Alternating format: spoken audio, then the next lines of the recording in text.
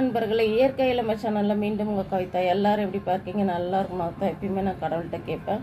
இனிய தமிழ் புத்தாண்டு நல்வாழ்த்துக்கள். நான் வந்து இன்றைக்கி கருப்பு கவுனி அரிசியில் தான் உங்களுக்கு வந்து பாயசம் செஞ்சு காமிக்கணும்னு நினச்சேன்.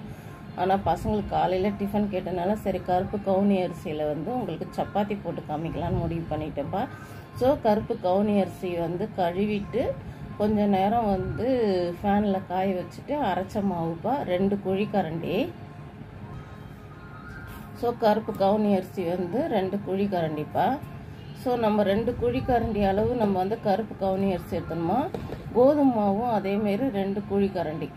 ஏன்னா அப்போ தான் நமக்கு உருட்டுறதுக்கு கரெக்டாக வரும். ஓகேவா பசங்களுக்கு நம்ம ஹெல்த்தாக கொடுக்கும்போது அந்த மாதிரி நம்ம இந்த மாதிரி ஒரு மிக்சிங்கில் போட்டு கொடுத்தோம்னா நமக்கு உருட்டுறதுக்கு ஈஸியாக வரும். ஸோ கருப்பு கவுனியோட டேஸ்ட்டும் நல்லாயிருக்கும் ஸோ ரெண்டு கரண்டி வந்து கோதுமை மாவுப்பா. நான் வந்து குழிக்கரண்டியில் எடுத்துருக்கேன் நீங்கள் வந்து டம்ளர்லையோ இல்லை எதுலையாவது யூஸ் பண்ணிக்கலாம் ஓகே இவ்வளோ இதுக்கு வந்து நீங்கள் சுடு தண்ணியோ எந்த தண்ணியோ ஊற்ற எவ்வளோ நம்ம வந்து ஃபஸ்ட்டு எந்த குழிக்கரண்டியோ அதே குழிக்கரண்டி அளவுக்கு ரெண்டாவது ரெண்டு குழி கரண்டி அளவுக்கு நம்ம கோதுமாவும் போட்டாச்சு கருப்பு கவுனி அரிசி போட்டாச்சு தேவையான உப்பு வந்து சாதா பச்சை தண்ணி ஊற்றி நம்ம பசஞ்சுக்கலாம்ப்பா கவுனி அரிசி. அதனால் அப்படியே பிசைஞ்சு அப்படியே உருட்டிடலாம். உருட்டி சப்பாத்தி போடலாம். வாங்க நான் உருட்டிட்டு உங்களுக்கு காமிக்கிறேன்.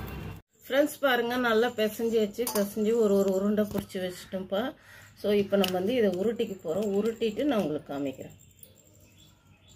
ஃப்ரெண்ட்ஸ் பாருங்கள் சூப்பராக சாஃப்டாக இருக்குது நம்ம சப்பாத்தி. நம்ம வந்து இப்போ இதே மாதிரி எல்லாத்தையும் உருட்டிட்டு நான் வந்து போடும்போது உங்களுக்கு காமிக்கிறேன். நீங்கள் வந்து இந்த சப்பாத்தி வந்து நல்லா புஷ்ஷுன்னு உப்பி வரணும்னா கொஞ்சம் நேரம் ஊற வச்சு எடுத்திங்கன்னா நல்லா உப்பி வரும். பட் எனக்கு வந்து டைம் இல்லை இன்றைக்கி நாலுங்கிழமை காலையில் பசங்களுக்கு சப்பாத்தி போடணுமேன்னு போட்டுட்டேன்.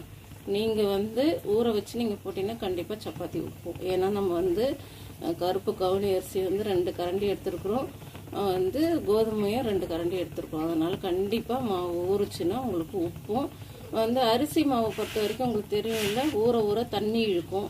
பட் எனக்கு டைம் இல்லைன்றதுனால நான் வந்து சீக்கிரமாக போட ஆரம்பிச்சிட்டேன்ப்பா. இதுதான் நம்ம சப்பாத்தி மெத்தடு வாங்க நம்ம சாப்பிட்லாம்.